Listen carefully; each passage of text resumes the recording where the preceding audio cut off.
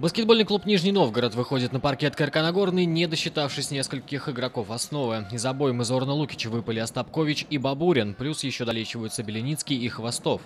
Есть и положительные моменты. На площадке уже в первой четверти появляются Платонов и Торопов, которые ждали своего шанса. Правда, первая четверть идет в актив именно гостей. Калив быстро набирает свое преимущество и ведет в плюс 10, но тайм-аут Лукича идет на пользу НН. Они почти догнали к малому перерыву 17-20. А вот во второй четверти не даже вышли вперед. Гости на последних секундах сравняли счет и перед второй половиной равный по 33. Третья четверть остается также за гостями 47-52. Нижний отстает, да и четвертая проходит в том же русле. НН пытается догнать по счету, а Калев только набирает преимущество и за две минуты до конца ведет плюс 10. Баскетболисты Лукича смогли в концовке вернуться в игру, но времени уже было недостаточно. 65-71.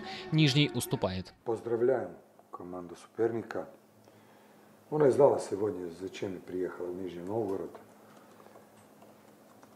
С одном энергией, с правильным настроем.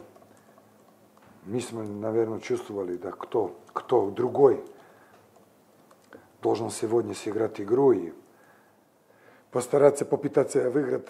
выиграть. А я сам сказал перед началом игры, это подтвердилось, к сожалению. И знаете, для меня тут несколько моментов.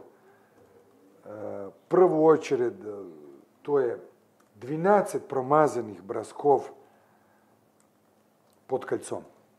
Следующий матч баскетболисты Нижнего Новгорода проведут 19 октября против французского Дижона, а это уже Лига чемпионов ФИБА.